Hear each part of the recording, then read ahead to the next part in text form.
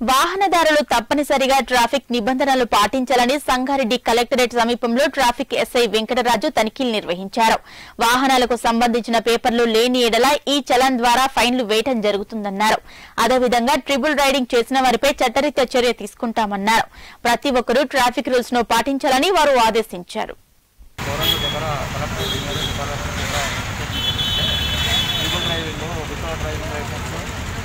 documents వెహికల్స్ని చేయడానికి వాళ్ళ కౌన్సిలింగ్ చేస్తూ డాక్యుమెంట్స్ కూడా తీసుకోమని చెప్పేసి వాళ్ళ కౌన్సిలింగ్ చేస్తూ